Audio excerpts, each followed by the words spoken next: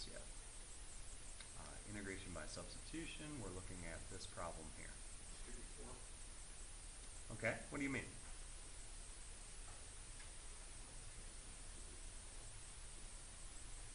Okay, so again, our suggestion was from Ben, let's do this.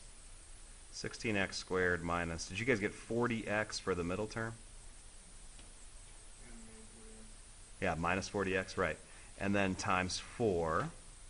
And so when I distribute the 4, I'm getting 64x squared minus 160x plus 100 dx. And so now my antiderivative would be, well, this is going to be 64 thirds x cubed minus 80x squared plus 100x plus c. Is what you guys got? Yay or nay? Is that too fast? Kind of, Kind of, yeah. I'm doing a lot there. And I want to say one more thing about it. This was a pain compared to what I'm about to show you. Okay? I mean, what I would love to be true is this. Wouldn't it be great if instead of expanding it, you could kind of say the answer was one third 4x minus 5 to the third power plus c.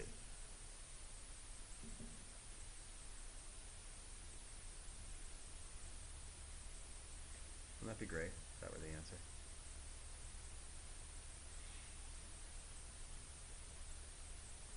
Is it the answer? We can always check, right? How do you check?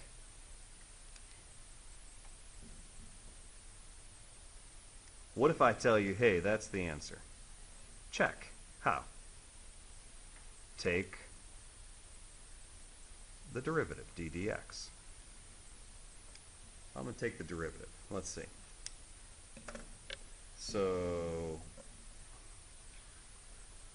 the derivative, hey Tyler, of this 4x minus 5 cubed plus c.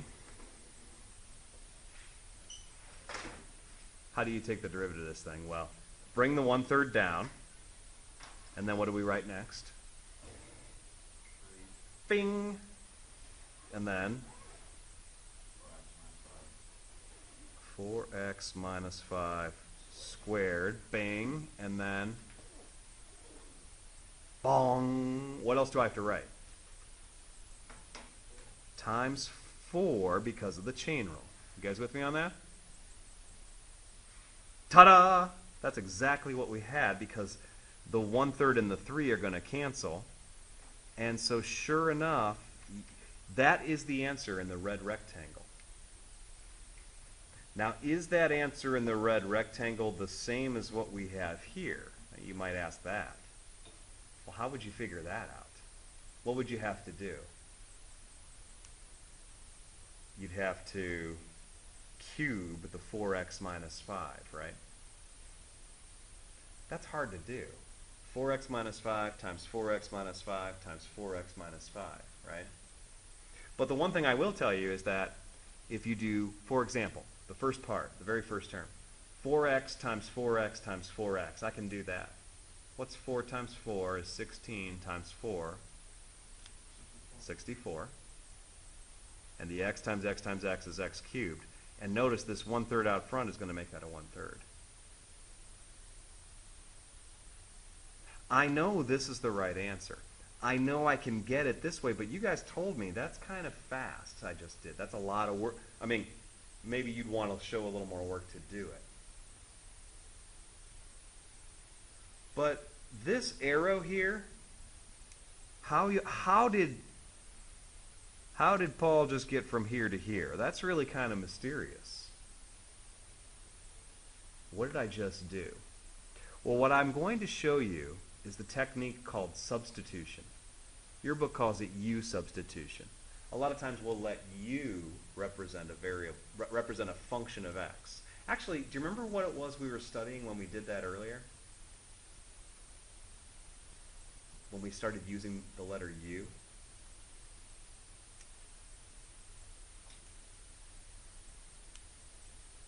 We've done it before, right? Where did we do it? Well, first time we did it was when we did product rule. That's right. Taking derivatives with the product rule. There was another time we did it too. We did it with the chain rule. I don't know if you remember. dy dx was equal to dy du times du dx.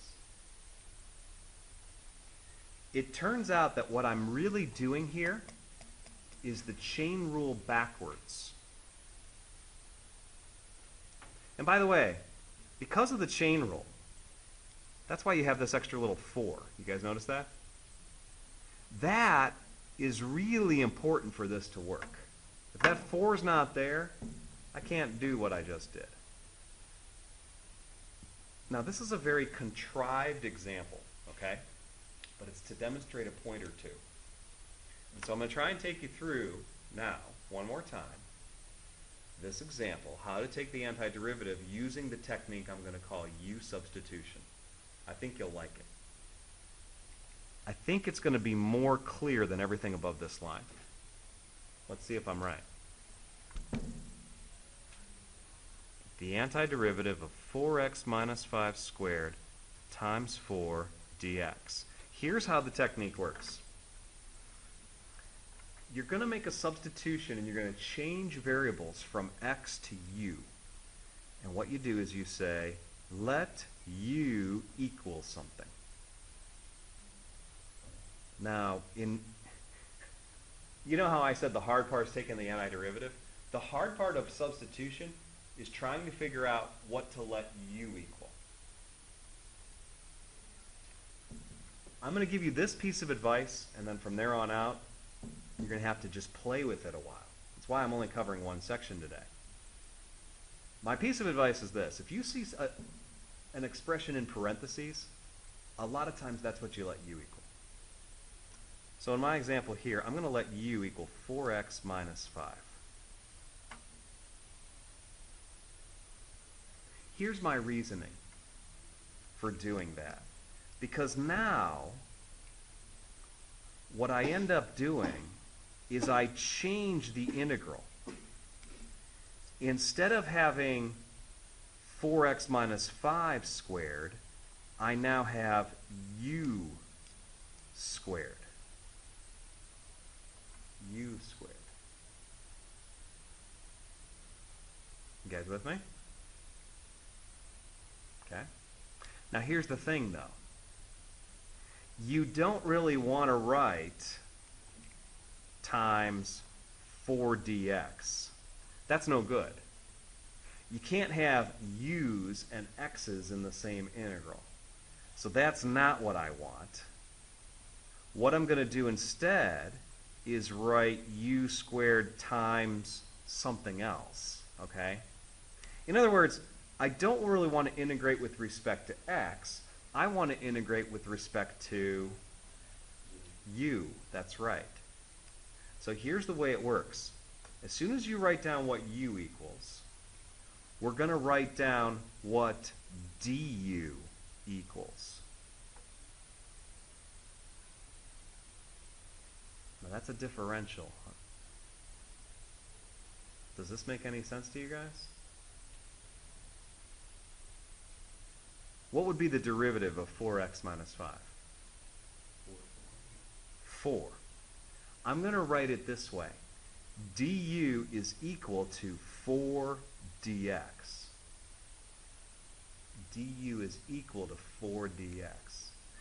If you don't understand what that means, you can say in parentheses, because du dx is equal to 4. That's, that's the fact that you guys knew. You knew that if I took the derivative of u with respect to x, it equals 4. Well, all I'm doing is something that Leibniz used to do. I'm separating the two differentials. It's why he used these, this fraction notation, because he saw that this was really cool, that you could, write, you could do this little move. du is 4 dx. And now what's beautiful is that instead of this 4 dx thing that I had, what does that become? du. That becomes du.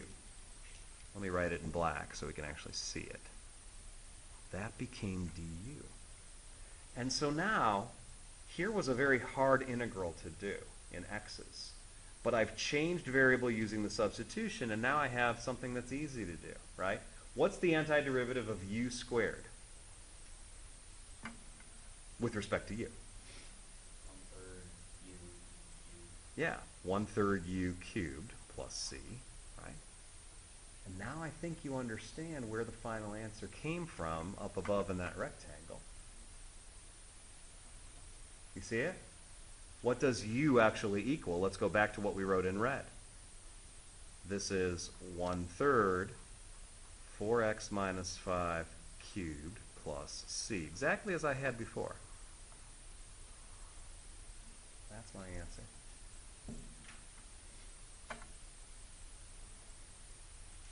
Guys have any questions so far?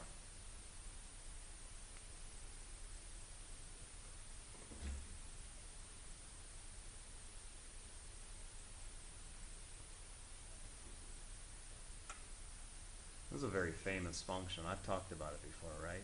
e to the negative x squared. Do you remember what that is? Oh, okay. Isn't it the decay function? Um, if you, I, I see why you're saying that, because if you have e to the negative x, that's the decay function. Now this is e to the negative x squared. I think it's worth actually showing you guys a graph. Some people would argue that this is the single most important function in all of mathematics. So you may as well know what the graph looks like. All right, here we go. Second, e to the negative x squared graph.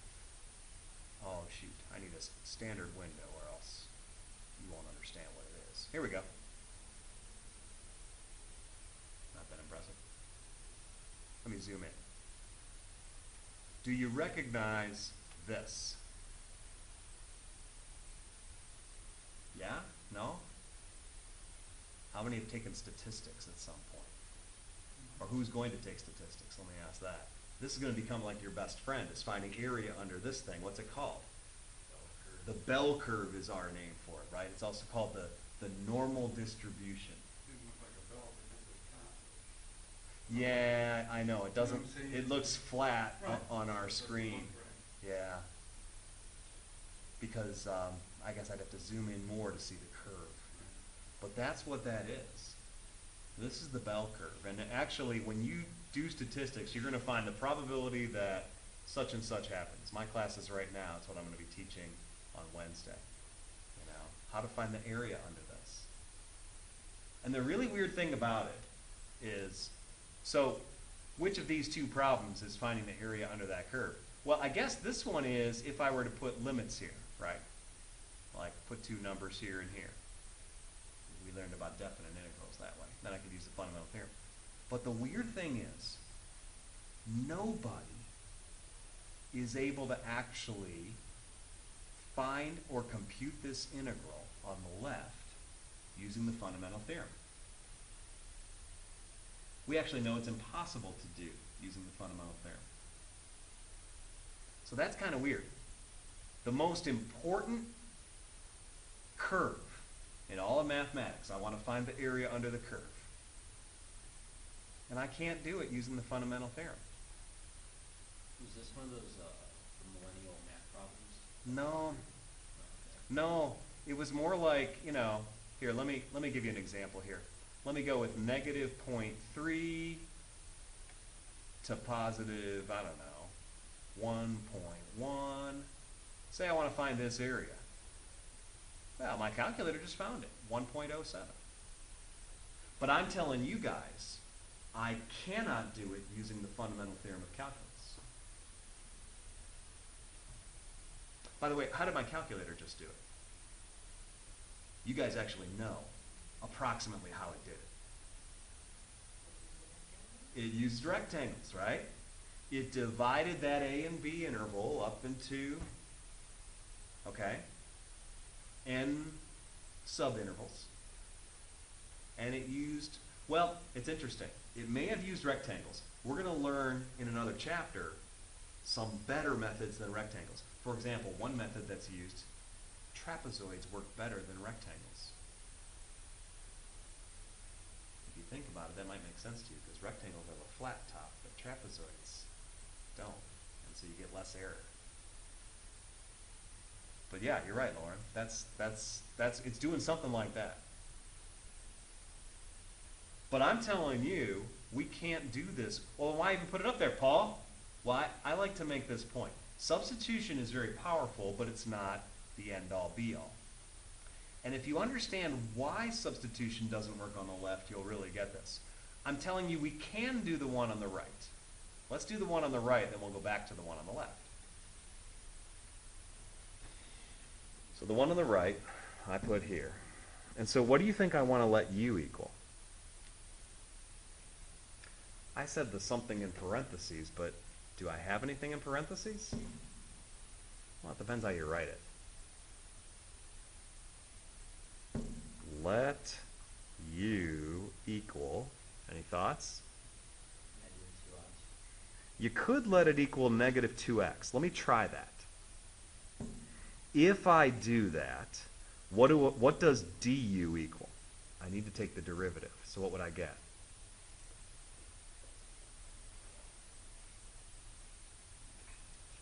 Well, the derivative of negative 2x is what? Negative 2 dx. And I'm going to tell you that if you do this, you see this x squared up here? That's a problem. Doesn't quite. It doesn't go away. But you have to try things. And the first time you do substitution homework, this is what it's going to be like. You're going to try different lets, and, and you say, well, does it work? Let me try again. Let u equal. Any other guesses of what I might let u equal?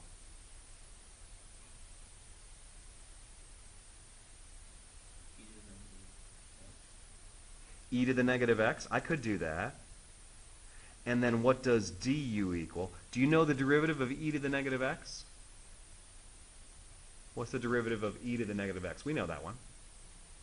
You get back e to the negative x, but what else do you need to multiply by?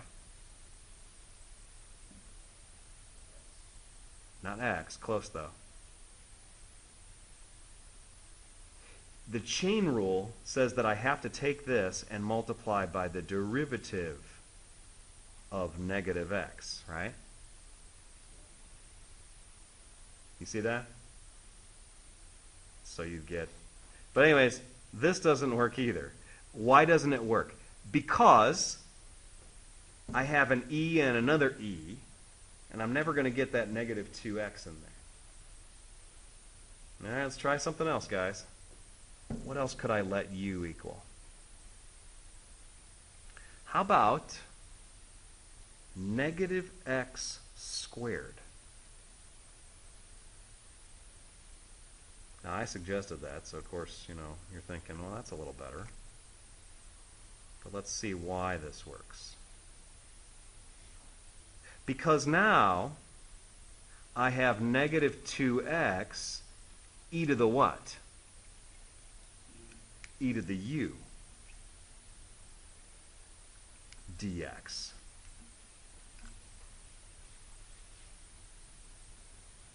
In some ways, this is going to clean things up a little bit. All right? Now, what I told you guys was immediately after you write down u, you need to write down what du is. What does du equal?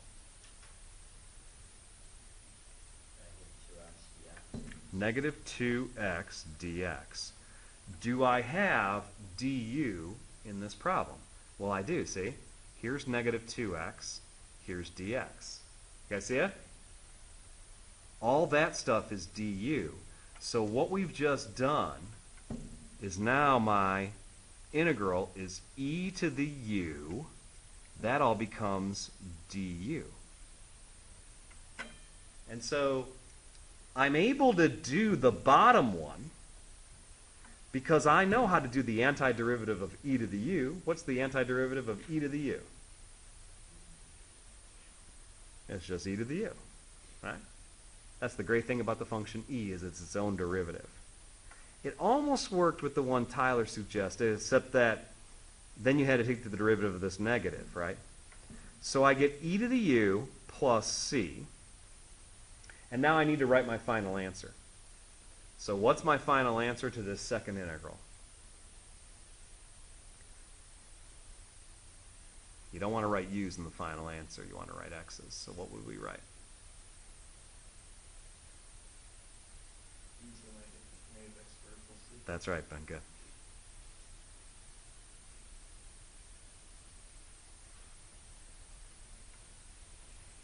Does that make sense? What's a good thing to do if I'm not sure if I'm right? Yeah, let's take the derivative of that to check, okay? So over here on the side, let me check. The derivative of e to the negative x squared would be e to the negative x squared times the derivative of negative x squared, right? Now, what's the derivative of negative x squared?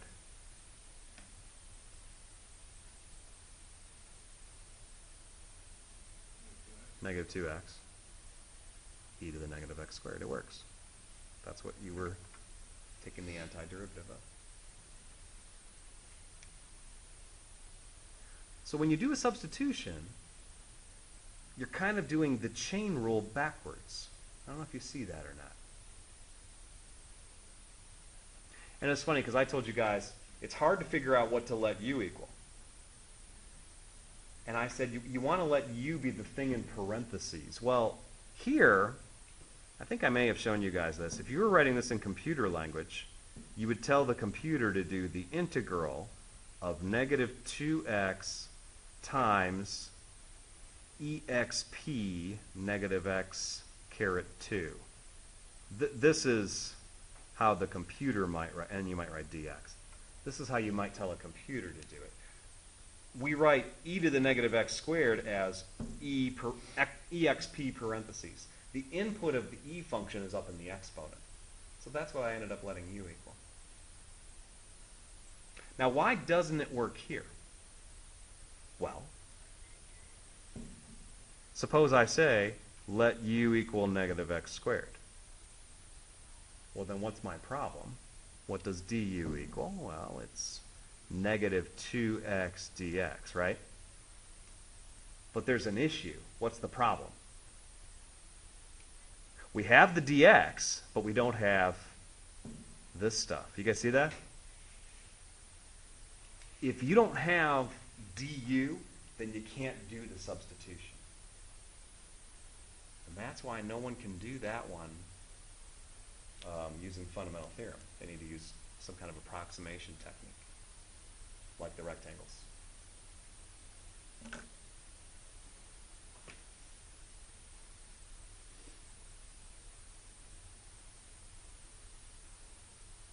So I have two more for us to try here.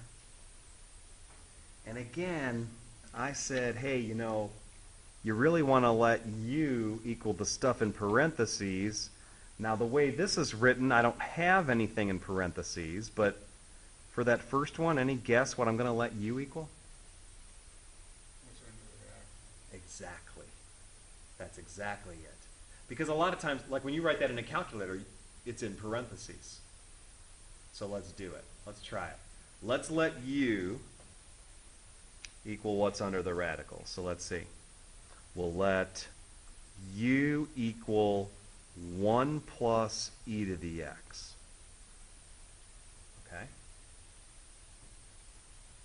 The next thing I should do immediately is I should write du. What does du equal here? What is it? e to the x, and then what else do you want to write? dx. That's right. You want to write e, du is e to the x dx. Okay. And now, what's really cool about this problem is du equals e to the x dx. See how that's kind of sitting right here? That's a good thing.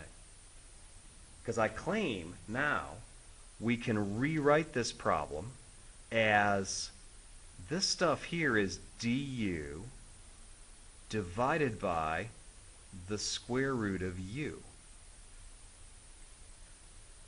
I got all the x's out of there. Now, that's kind of one thing you look for is you get all the x's out of there. But then the second thing is you get a new integral and you ask yourself, does that help? Is this one easier to do? And this reminds me of the end of class on Friday. I went back to some problems from, I forget, was it section one? Yeah, antiderivatives. And I was just asking you guys, can you do like things like this? If you rewrite this one, you should be able to do it.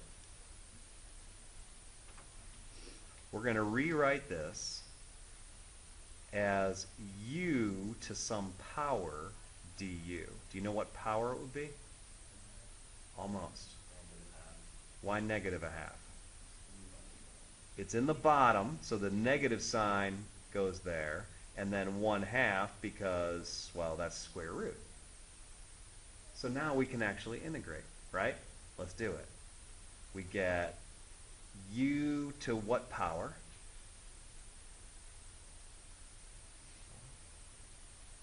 Right, I take negative 1 half, I add 1 to it, I get positive 1 half plus C. And then I also need to think about what to put out front. So what goes in front since I just made it u to the positive 1 half.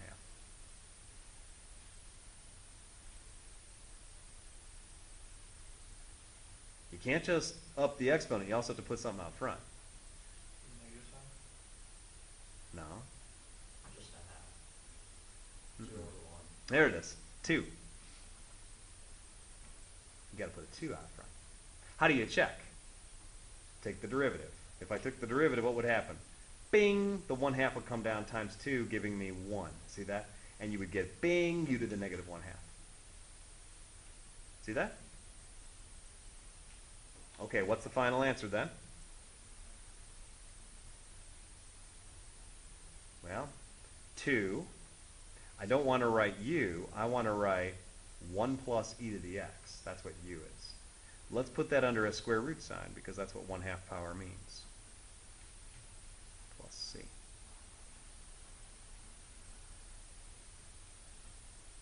There it is.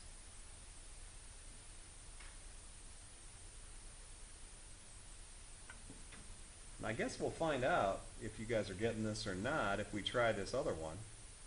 Um, x squared square root of x cubed plus 9.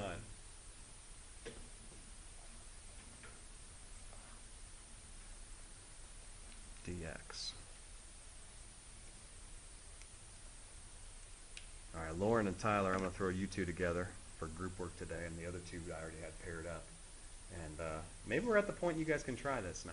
All right, talk it out and see if you guys can get it. I'm going to get a drink of water. I'll be right back.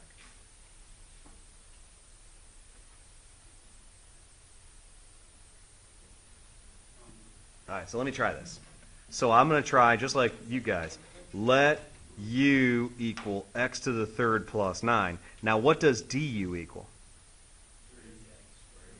3x squared dx. Now, what's the issue? What do you do with x squared? We have an x squared dx, which is good. What do we wish we had? I wish I had 3x squared dx. I don't.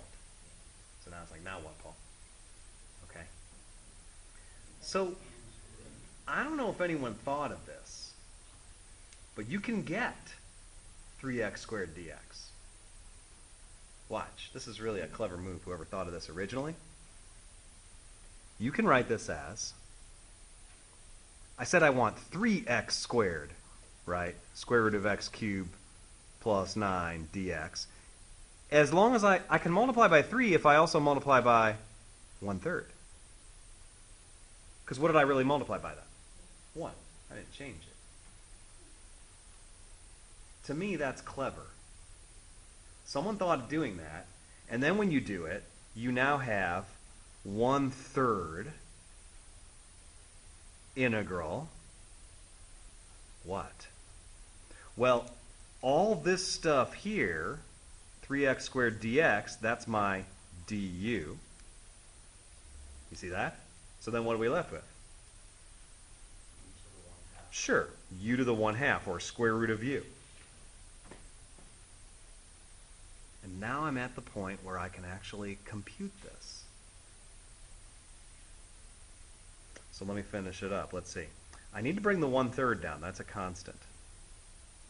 I need to write u to the 3 halves power plus c. But then what, what constant should I put out front if I have u to the 3 halves power? Two-thirds. So let's write times two-thirds. There it is. One-third times two-thirds u to the 3 halves plus c. So let's see what we get. Final answer. 2 ninths times something to the 3 halves plus c. What would be the something?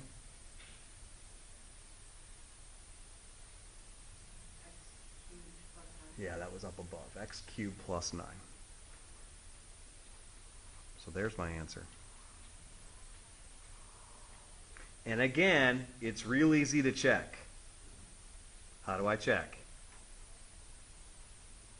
Well, take the derivative. 2 ninths times bing, 3 halves, times bing, x cubed plus 9 to the 1 half, times bong. What's the bong?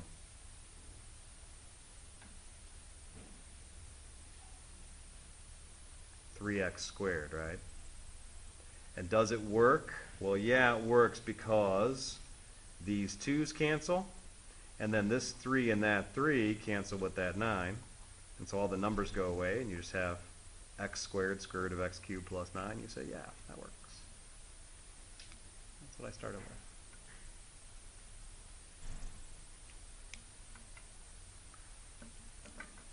But this is the first time that we've ever multiplied by something in order to get the du that I didn't have. You might remember the very first example we did. There was this 4 just sitting there. That's not usually what happens. Usually you need to kind of get what you need. I'll see if we can try it again here. Oh, this is me talking about a definite integral. I should do that, but then maybe I should do this one for you guys. Let me go back. Hmm.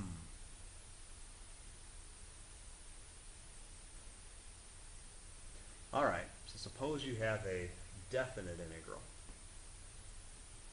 x squared times the square root of x cubed plus 9 dx. But now I'm integrating from 0 to 3, right? The question is, how do you do it? Well,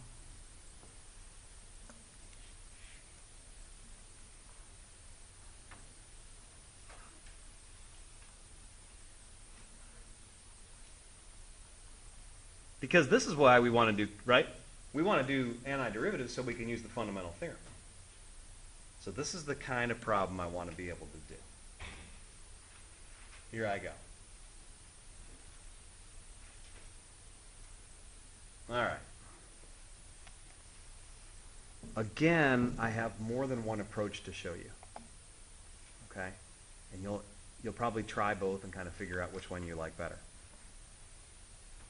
Okay. Here's method 1.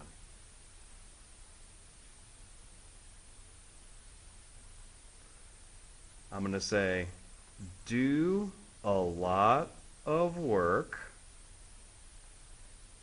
and get, well, this, right? We already did this problem. 2 ninths x cubed plus 9 to the 3 halves power. But I'm not going to put plus c. What am I going to do instead? Draw my bar and write what? 3 and 0, 0 and 3, right? Because we know we have to do f of b minus f of a. So this is typically what happens. So now let's see. This would equal 2 ninths, 3 cubed plus 9, minus 2 ninths 0 cubed plus 9, right? That's what it would equal. Oh, wait. I need the 3 halves power here, and I need the 3 halves power there, right? Okay. Now I got it. So I plug in the 3, I plug in the 0, and I subtract what I get. Now, this first piece would be 2 ninths of, well, let's see, 27 plus 9, that's 36 to the 3 halves power, minus 2 ninths of 9 to the 3 halves power. Now, do you guys know how to compute something to the 3 halves power? Well, you, you have a power and you have a root, right? Which of those numbers is the root? Mm-hmm. That means square root, right? If it's me, what I do is I do the root first. Because that makes things smaller. So, like, what's the square root of 36? All right. So we have 2 ninths of 6 cubed minus 2 ninths of 3 cubed. And now just order of operation. And some of you want to just type this all in the calculator. You could do that. But it's actually not too hard. Um, I do the exponents before I do the multiplying. So let's see, I have 2 ninths of, well, this is um, 6 times 6 times 6 is 216. I had a really good algebra teacher that made me memorize all my perfect cubes. So this is 27. And now, does 9 go into 216? Yes. It does. I know that because if I add them up, 2 plus 1 is 3, plus 6 is 9. So I get 2 times, this is this 24, I think? Minus 2 times 3. So that's 2 times 21. I'm getting 42 for my answer. 42. The meaning of life? Tyler gets my reference. Okay. Now, that's one way to do this problem. Notice there's a lot of work even after the calculus is done. Now you got a lot of work to plug in. Okay. I want to show you one other thing that's done so you won't be confused when it happens. All right, start all over. We, we know we want to come up with 42. Here I go. Integral 0 to 3 x squared square root of x cubed plus 9. So again, let's go through it in slow motion. What do we let u equal? Mm-hmm. What do we let du equal? Three squared. 3x squared dx. We don't have 3x squared. What do we have? We have x squared. By the way, I'm going to show you another approach. I like to call it the Armstrong approach. You guys know Armstrong? Yeah, the first author of your book. Okay? He's not the first person that I've seen do this, but I know he likes to teach it early. And I like to show my students both ways. He says, look, we don't have 3x squared dx. What we have is x squared dx, right? So let's write down what x squared dx equals. Some people like this. Well, what I'm saying is, what would you do to both sides of the equation above to get what x squared dx equals? Well, you divide by 3. So you could say that x squared dx is 1 third du.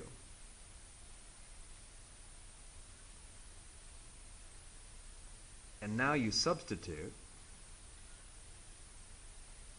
And so what do you get? Well, square root of u times this x squared dx is 1 third du. Okay? And so we get Well, one third integral u to the one half du, and now you're getting exactly what we got before. Now, please notice there's something I didn't write down that I should have, right? What did I stop writing?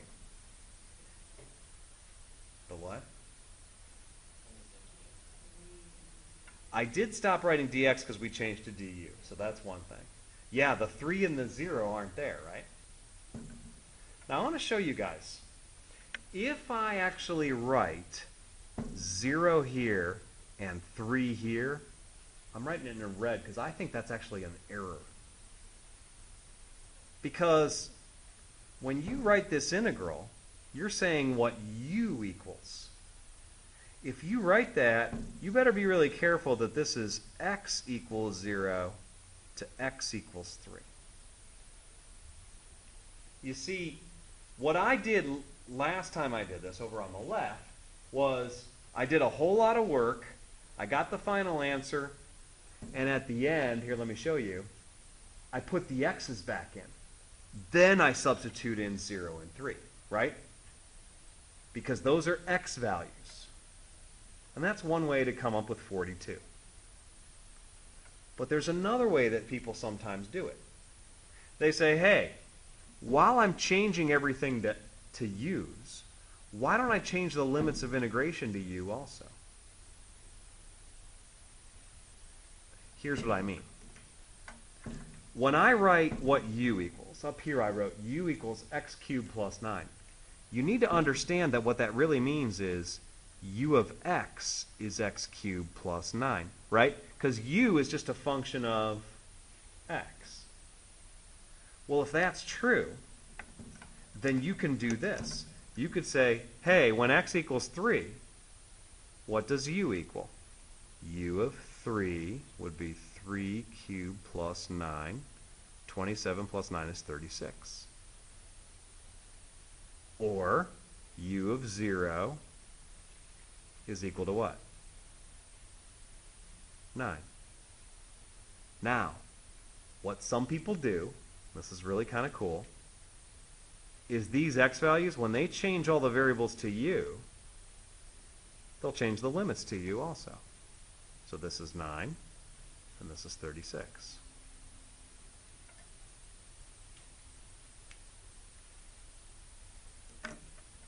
So let me show you how it works. I get one third. Okay, when I integrate u to the one half, I know I get u to the three halves, right? And put a two thirds out front. And I don't write plus c, instead I just put the bar. What am I going to put over here? 9 and 36. So I now am at the point where I have 2 ninths of, well, 36 to the 3 halves power minus 2 ninths of 9 to the 3 halves power. I'm exactly where I was over on the left, right? And if you work it out again, you're still going to get 42. But I, I guess I wanted to show you sometimes people will change from x to u, and sometimes they'll just leave it as is. Either way is okay. You'll have to maybe try both to see which you think works a little better.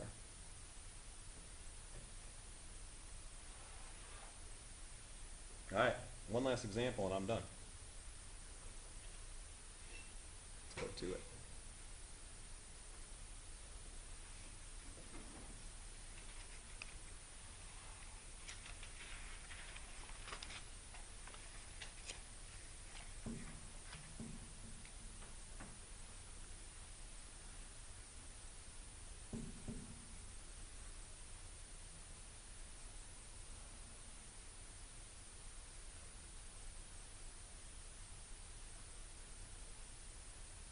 Oh, wait a a typo. We don't want two dx's, right? I actually kind of showed you the places you could put the dx. problem was I wrote two of them. Sometimes we'll write the dx up here in a fraction. Sometimes we won't. Sometimes we'll write the dx out here. Either way means the same exact thing. Does that make sense to you guys? Okay. So that's my function. What do you think we want to let u equal?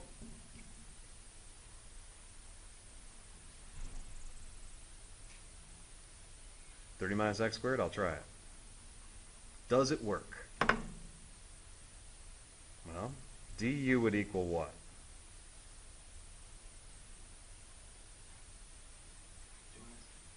Almost. Negative 2x dx. Can we get negative 2x dx to show up in the problem and become my du? Well, I can because I have x and I have dx. Maybe I should have written it over here. I don't know. Right? You write it either place. There's my x dx, right? Guys want to do it the way I showed you at first, or do you want to do it the Armstrong way? Which way? Armstrong? Okay, so what would he do? The next thing he would do is write down what does x dx equal? What are you going to write?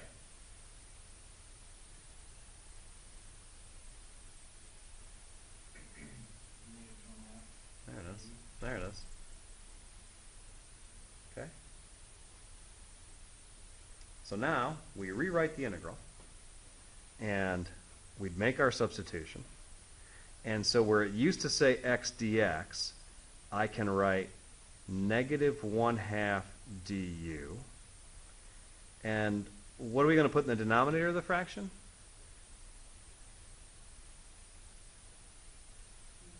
u squared, sure. Okay, did this help? Oh, one more thing. In this problem, this is a definite integral. So we have a choice. Do you guys want to change to u's so I won't have to worry about them later, or do you want to leave them as x's? You tell me. I can do it either way.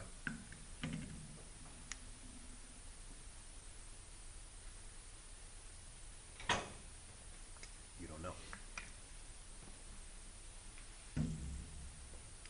When I first started this, yeah, Brian? Is there a way to know from a trick or something you know which way's better? I would say that honestly, it's not that one way is better or the other. Just which way? It's what way you're comfortable with. I do know when I first started, I really liked leaving these until the end. So I'm going to leave them. But everyone's different. You could try changing them too. I can show you that. Let's let's do this for starters. So now what I'm going to write, I have to rewrite the integral so I can actually do it. Now, see this negative 1 half? Just like you can ignore it when you take a derivative, you can also ignore it when you take an antiderivative. Let me write it out front. Negative 1 half integral. Again, this is x equals 3 to x equals 5. And then the rest of this, does it make sense to you? I would write it this way.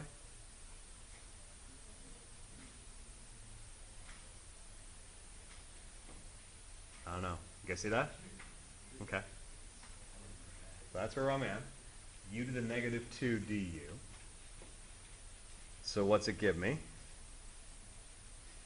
Well, I have the negative 1 half I write down. And then what would this become? u to the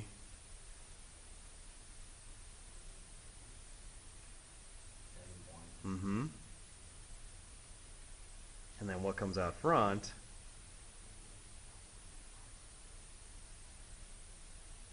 I think just negative 1, right? Because when you take the derivative, bing, bing, those will cancel out. And I don't write plus c, I just draw the bar, and I'm going to write x equals 3 to x equals 5. Those are x values, not u's, so don't substitute in yet. All right. So this is positive 1 half times, well, u to the negative 1, we can write that as um,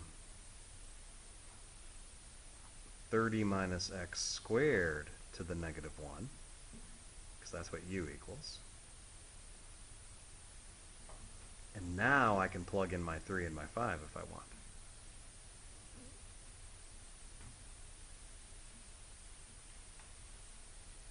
Because now I have x's back in there. Okay, almost done. By the way, negative 1 power, what does that mean? It's a fraction, right. So maybe, let's write this as a big fraction. 1 over 2 times 30 minus x squared, because if you wrote that as a fraction, it would multiply like the two fractions and give me that. And again, I'm going from 3 to 5. So I'll do f of b minus f of a now. I'll have 1 over 2 times 30 minus 25, because that's what happens when you plug in a 5 and square it, minus 1 over 2 times, well, 30 minus 9.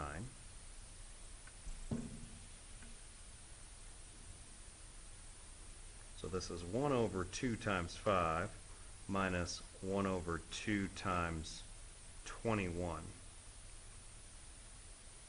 And I guess at this point I would probably get out the calculator. So I have 1 tenth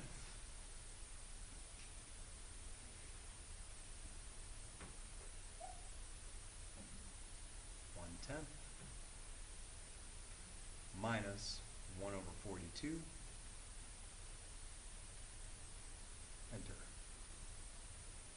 Kind of ugly decimal. Um, you can also do this. You guys know this, the math menu? Choice one here. Change your answer to a fraction. It's Kind of nice to have. All right, so eight over one hundred five is what I'm looking at here.